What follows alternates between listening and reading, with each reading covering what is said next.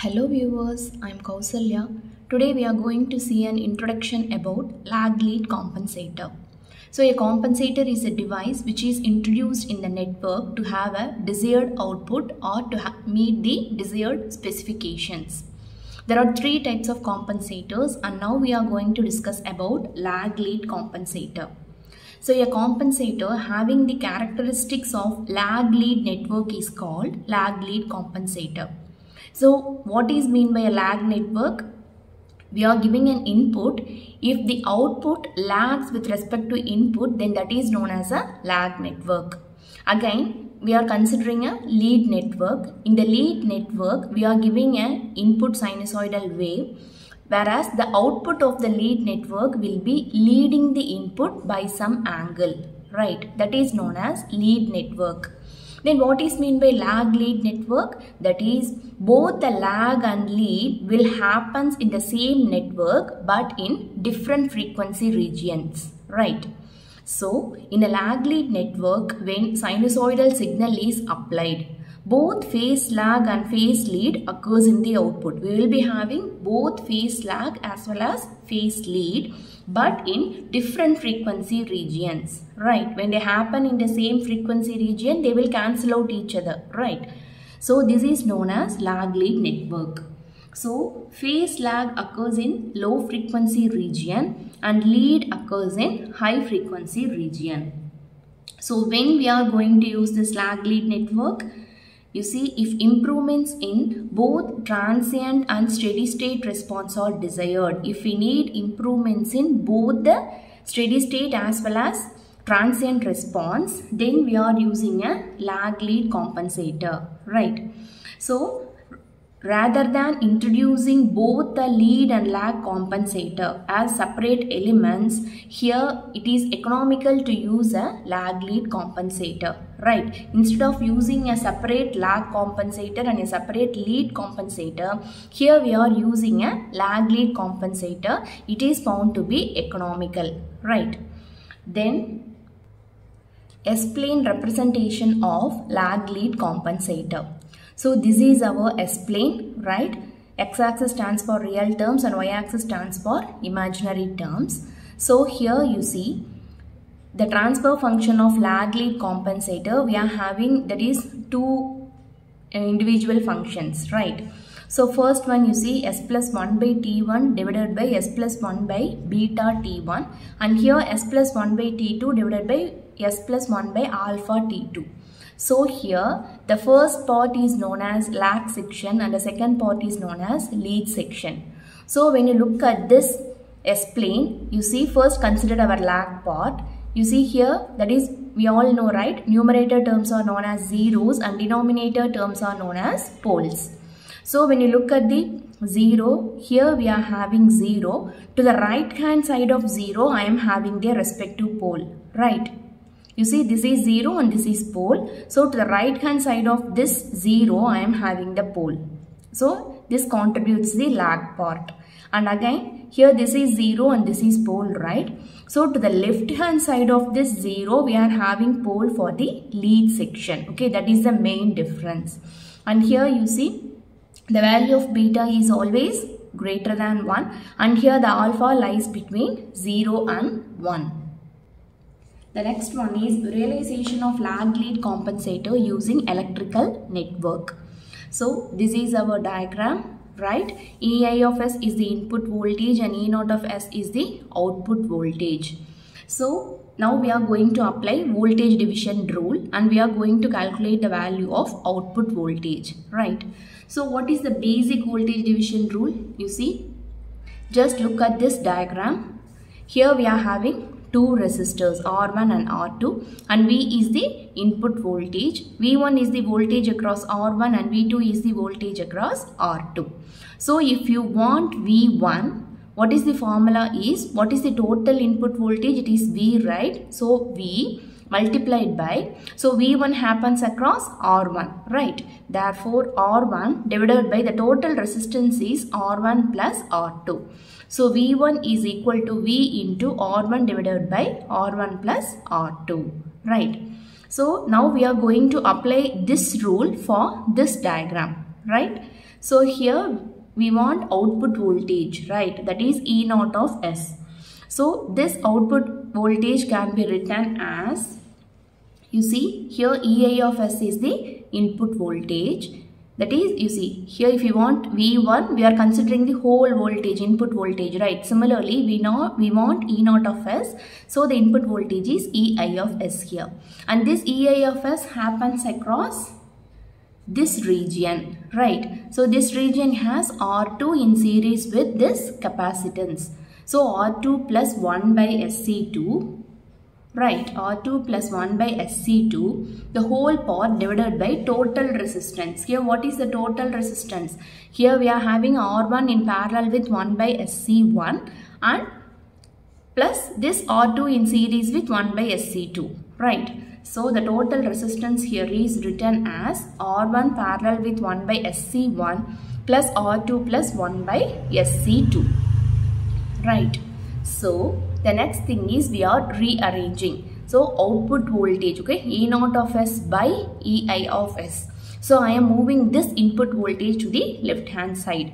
So e naught of s by ei of s is equal to here i am taking lcm right? So r2 into sc2 plus 1 divided by sc2 and here you see we are having two elements in parallel. So how will you simplify this uh, that is the basic formula is R1 into R2 divided by R1 plus R2. So in the place of R2 I am having this term. So just write R1 into 1 by SC1 whole divided by R1 plus 1 by SC1 right plus again I am going to take LCM for this part and that is done here. Then the next thing is again we are just simplifying okay that's it. So here you see for this part, again I am taking LCM for this denominator term. So when you take LCM, we will be having expression like this, right? So the denominator part, both the denominators are same. So they cancel out each other. And finally, we will be having an expression like this. So after simplification, we are having an expression like this. Again, the next step is I am going to take LCM for this denominator term. So when you take LCM, you see numerator remains as such and here in the denominator just we are going to um, take LCM that's it right. So R1 into SC2 plus this entire term gets multiplied by this term the whole divided by these two terms right. So again you see this SC2 is common so they cancel each other and again we are having expression like this right. Then the next step is here I am taking R2C2 outside. So the remaining term is like this. And again here I am taking R1C1 and the remaining term is that is S plus 1 by R1C1. Similarly, here in, the, in this term I am taking R1C1 outside and here R2C2 outside. Right. Then we are going to divide both the numerator and denominator by R1C1 and R2C2. So here you see we are having R1 C1 R2 C2 we are going divide this numerator term this entire numerator term by this R1 C1 R2 C2 what happens? This term this term and this denominator term will cancel. Am I making the concept clear? You see now we are going to divide this part by R1 C1 and R2 C2 as well as this whole term by R1 C1 and R2 C2 Right, you see here I am having R1 C1 and here I am having R2 C2. So they cancel each other. So the remaining terms will be only these terms. Right, these two terms I had written here. Again, when you look at this term, so again we are going to cancel the common terms. You see, yes R1 C2 divided by this term what happens? R1 C2 will be cancelled, right? So here R1 that is we are having plus term in between. So this denominator term is common for this term as well as for this term, right? So since I am having less space, just I am writing like this. This part is divided by R1 C1 and R2 C2. So what happens? R1 R1 and C2 C2 will cancel each other. So the remaining terms will be C1 R2, right? So yes divided by C1 R2 I had written here right similarly So here these two terms are in multiplication. Therefore this denominator term no need to split. So when you cancel what happens? R1 C1 here R1 C1 and here R2 C2 R2 C2 cancels each other. So the remaining terms are S plus 1 by R1 C1 and S plus 1 by R2 C2. Right. Am I making the things clear? Yes. Now we are going to solve the denominator. Right. So in this denominator, nothing. We are just going to multiply these two terms and we are going to simplify. Right. So this term you write here as such. And here when you multiply what happens you see s into s becomes s square. Right. And again s, s into 1 by r1 c1 gives s by r1 c1. Plus again S into 1 by R2 C2 gives S by R2 C2 plus again when you multiply these two terms 1 by R1 C1 into R2 C2 right. So here in these terms you see I am having an S square term. So here I am writing that S square as such. Right and here I am having S commonly in these three terms. So I am taking S commonly outside and here I had written the remaining terms and finally this constant right 1 by R1 C1 R2 C2. So the transfer function of lag lead compensator is given by, this is the thing we had just seen right initially from the, that is just we had written the pole zero diagram and we had written the transfer function, right? Wait, I'll show you.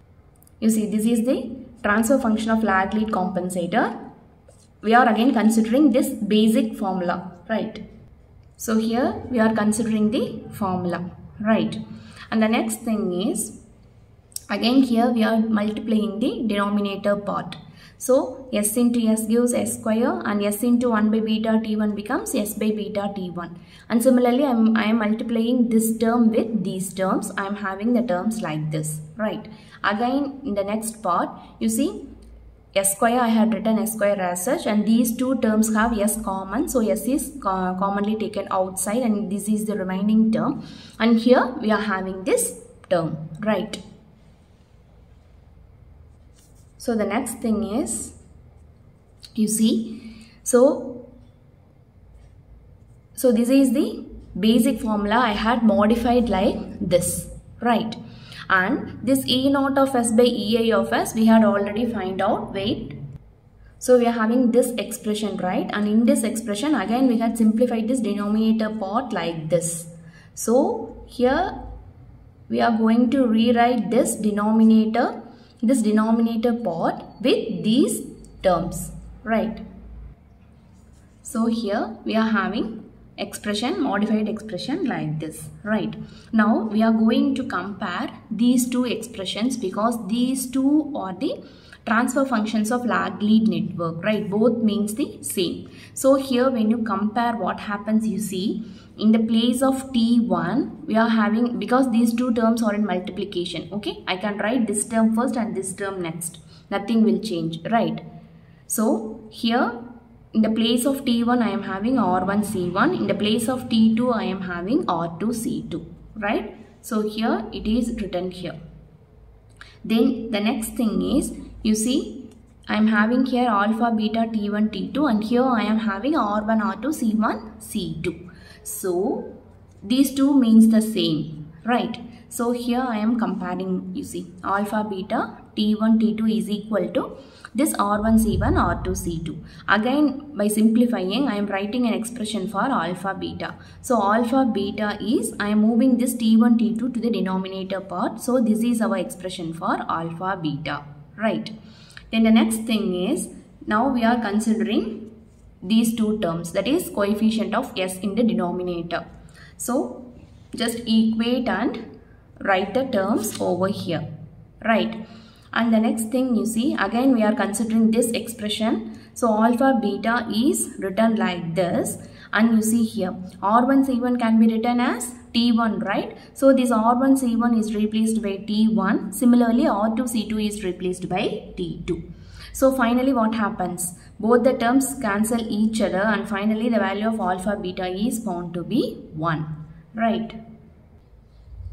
So from the equation alpha beta equal to 1, right, a single lag lead network does not allow an independent choice of alpha and beta. this is nothing but here we need uh, what to say we are simplifying the expression in terms of beta. That's it. Right. You see here alpha beta is equal to 1 so from this we can write alpha as 1 by beta. Right? So this is what we are going to done here. So e naught of s by ei of s is given by again we are moving to the basic expression. So the basic expression is so this is our basic expression part, right? So here I am going to replace this 1 by alpha as beta. Because you see alpha beta is equal to 1. So what becomes 1 by alpha? When I move this alpha over here, it will be equal to beta. So here we are having an expression like this, right? 1 by alpha is replaced as beta here. That's it. So again the same T1 is R1 C1 and T2 is R2 C2 and again here these denominator terms this denominator term now is equal to this 1 by beta T1 plus beta by T2 right so here comes the end of this derivation. If you have any doubt let me know in the comment section. Thank you